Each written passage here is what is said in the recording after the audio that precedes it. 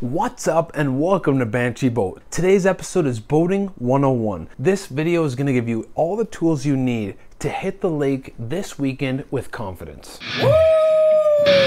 Banshee boating, baby!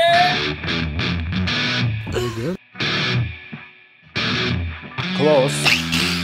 Banshee Boat for everything boating. These maneuvers could be dangerous if not operating the boat properly. Do so at your own risk. Make sure to always have boating safety equipment, pleasure craft license on board, and always wear your PFD. Be conscious of those around you. Respect the shared waterway. Remember, never drink alcohol on boat. Always place up on the water. First things first, safety. Whether it comes to wearing your PFD and having all the proper safety supplies on your boat, or whether it's your trailer lights and trailer tires. All these things are a critical cog in the wheel, you might say, of your boating experience for the entire weekend being an extreme success. If you've never driven with a trailer before, it's important to understand all the things involved with using a trailer and backing a trailer up. If you'd like to know how to back up a trailer like a pro, check out the description right down there and I'm gonna put a link straight to the video how to back up a trailer like a pro. There's some things you're not expecting that can change the course of the entire day. Safety helps you be prepared for these problems. Oops. So firstly, in Canada, you're gonna need a boater's license. And if you plan to go fishing, you're also going to need a fishing license. These are easy to obtain. Check out in the description, I'm gonna put a link straight to uh, where you can pick up a boater's license or a fishing license. But now, you're gonna need all the safety supplies, some of them are by law safety supplies, to have in your boat just in case of emergencies. You're never gonna wanna wind up in the middle of the lake stranded with no way to get back. There's nothing worse. Some of the safety supplies you're going to need and some of the ones that you're going to need by law include a flashlight, a first aid kit, a buoyant heaving line, a sharp knife for cutting any um, tangles, or let's say perhaps your propeller got tangled up in a fishing net. You never know. An emergency flare or some type of a way to uh, reflect the sunlight and to bring more attention to yourself in case of an emergency. You're gonna need plenty of water. My rule of thumb is about four liters per person per day. You're going to need a sound signaling device. You can use a blowhorn, but uh, a whistle is really effective. On the water, you wouldn't even believe how far sound travels. With some type of a device um, to reflect the sunlight, you can actually get attention quite easily if you have any problems. You're also going to need some type of a device to reboard your boat, whether it's a string ladder or a solid ladder you need to have a properly fitting PFD for every single person on board. And it's, um, the PFD won't work if you don't wear it. If you somehow ended up outside your boat, you want to have your life jacket on so that you can increase your chances of survival. And last but not least, you're going to need some type of paddle. If your motor dies out in the middle of the lake, there's nothing worse than being stranded out there. So at least with paddles, you can have some way to get back to shore Do you think anybody noticed if I uh, took off to the snack bar real quick? Uh, I'm kind of getting hungry. Well, I don't know. Maybe. Just be careful, because if you get caught, you might get uh, paddled.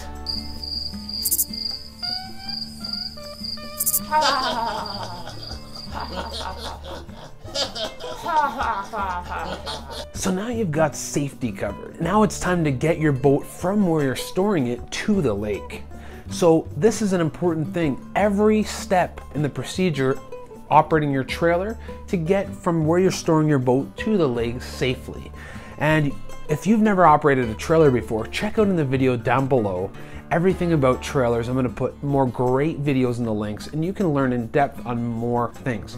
You're gonna need to get your boat from where you're storing it to the lake safely. So you've just launched your boat at the ramp, you've parked your truck or your vehicle, and you're cruising through the water and now you have an entire new world to deal with. You have underwater hazards, potentially rocks or wood, you have potentially bad inclement weather, you have other boaters on the water. Arr, I'm a pirate and I'll be taking this here lake as my own.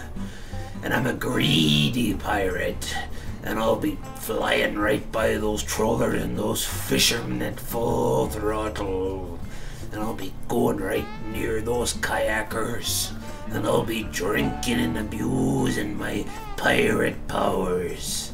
so you better look out for me. There's many different types of hazards on the water, so just take your time to fully understand each one. If you're new to somewhere and you've never been to that lake before, take your time to fully understand the lake and make sure to look out for potential underwater hazards because a lot of times you can see under the water. So kind of just uh, do a little bit of research on the lake and take your time before you really go full out on the lake because imagine hitting a boulder or a chunk of wood or a driftwood or something at 40 miles an hour. That would be not good. You might tear out the bottom of your boat or just rip out your engine or even worse be ejected from the boat you just never know so make sure you really research the lake before you go hard on it I got a joke for you two scurvy dogs. Why are pirates cool? Because they are. It's important to know and be familiar with every single boat control your boat has. If you're new to boating, make sure you're 100% comfortable with your boating controls. Once you launch your boat, take your boat somewhere safe and check out all the controls and really see how your boat works. Because when it comes down to a stressful time and you might have you might have to rely on split seconds and muscle memory to avoid some type of a problem. So it's important to know exactly how your boat works and know all the functions. Something that's uh, often overlooked, sunscreen's great, but if it's gonna be a sunny day and there's not one single cloud in the sky, an umbrella might be a great thing to have because it can actually provide some protection from the sun, some shade because uh, being in the sun all day can take its toll. It's funny, but being in the middle of a lake could sometimes feel like being in the middle of a desert. So make sure to have something that uh, can give you a little bit of sun protection. Has anyone seen my plug anywhere?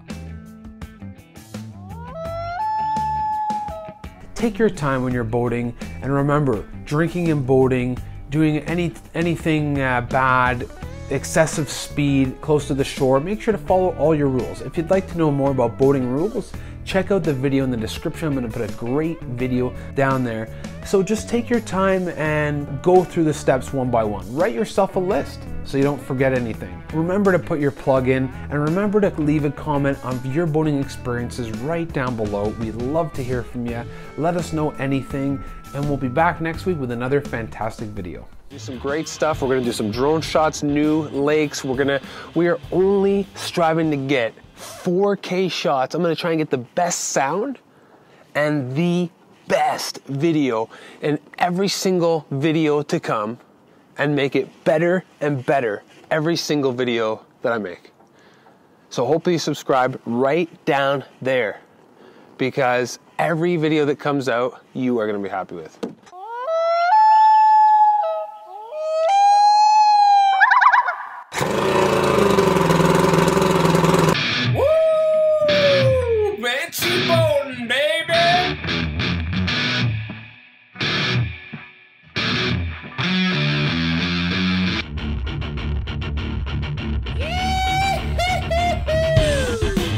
Check out one of these other fantastic videos. You won't be disappointed.